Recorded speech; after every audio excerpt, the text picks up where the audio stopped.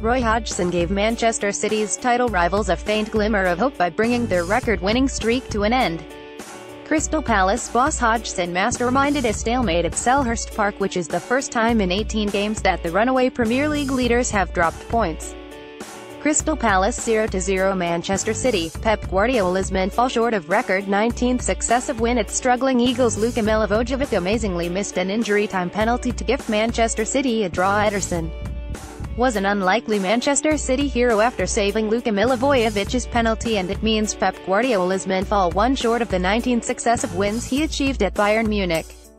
Luka Milivojevic amazingly missed an injury time penalty to spare the visitors an embarrassing defeat. City's lead at the top of the table is still a whopping 14 points but it does mean that second-place Chelsea have cut the gap by two points over the weekend after their 5-0 win over Stoke.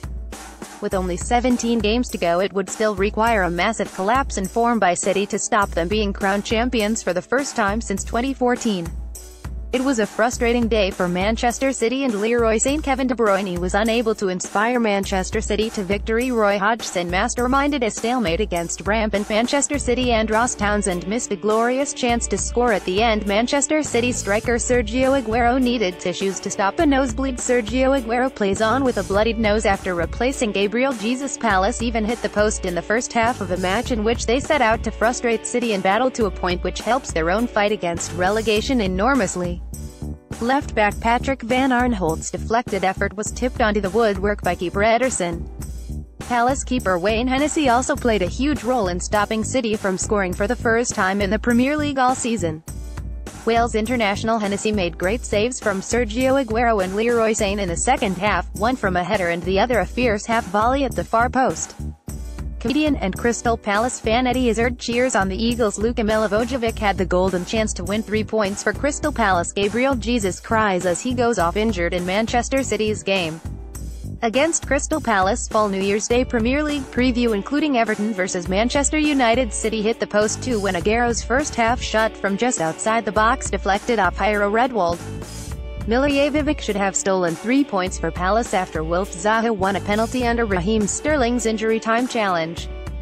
Kevin De Bruyne was injured after being on the end of a wild challenge from Palace sub Jason Puncheon Gabriel Jesus leaves the pitch in tears after suffering an injury against Crystal Palace. Gabriel Jesus lands awkwardly during Manchester City's clash against Crystal Palace. Scott Dann was clearly in big trouble as he sank to the floor in pain. Seeing their captain carried off the pitch on a stretcher will come as a great worry to Crystal Palace fans but the midfielder's limp central effort was saved by Ederson. On a day with no goals, there were plenty of injuries. Star City ace Kevin De Bruyne was carried off on a stretcher under Jason Puncheon's challenge, as was the offender. Palace captain Scott Dann was also hoisted off in the 17th minute for fouling De Bruyne.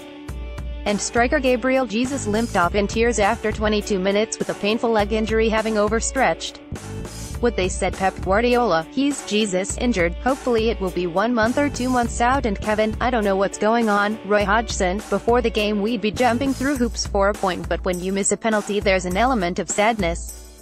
If we can produce that level of performance we have a good chance of staying in the league. Goals of the weekend, watch the finest strikes from Saturday and Sunday's Premier League games.